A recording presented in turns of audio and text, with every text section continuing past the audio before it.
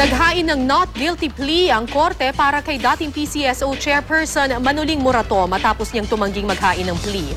Pinayagan din ng korte ang hiling ni Murato na mabisita ang lamay ng kanyang bayaw sa Quezon City. May news to go si Maki Pulido. Maki.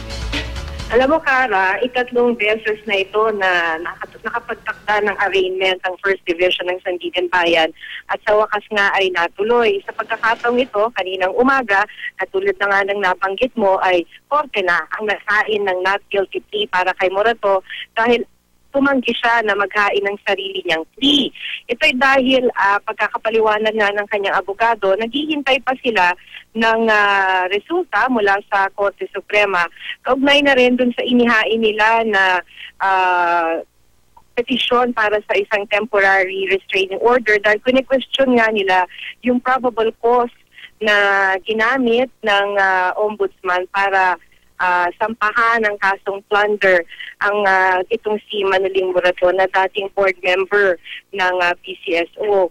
Yung uh, kaso na kinakaharap ni uh, Murato ay isa siya sa mga co-accused ni dating Pangulong Gloria Arroyo sa kasong plunder sa dahil sa nga sa di umano'y uh, maling paggamit o mali ang paggamit ng mahigit 365 million pesos na pondo ng PCSO. Pangatlong pagkakataon na to ng kanyang arraignment at natuloy nga katulad nga ng nabang nabanggit ko. Pagkatapos naman ng kanyang arraignment ay naghain ng oral motion ng kanyang abogado at humingi sila ng uh, permiso na makadaan itong si Morato sa uh, wake ng kanyang brother-in-law sa Morato. Akala namin, sinundan namin, ano, nag-convoy kami kara mula sa Sandigan Bayan, sinundan namin itong convoy ni Morato. Akala namin ay didiretso na sa Morato ay sa Morato Avenue sa Quezon City dahil nandun nga yung family compound ng pamilya Morato.